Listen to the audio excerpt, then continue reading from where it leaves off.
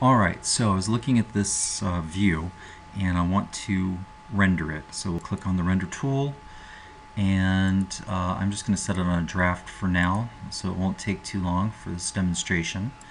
And definitely uh, interior, sun and artificial. And then I'll click render. Alright, so once the rendering's in place, we see that it's a little bit washed out. Uh, so what I could do is a couple of things. I could click on the artificial lights and I could play with the different lights. Or I can adjust, adjust the exposure. Um, so what we're going to do is this. We're just going to do a few things here. So I'm going to make the exposure value darker. Hit apply. Yeah, it's a little too dark. So it's a little bit of an art form here. You have to play with it. Okay, so that looks pretty good.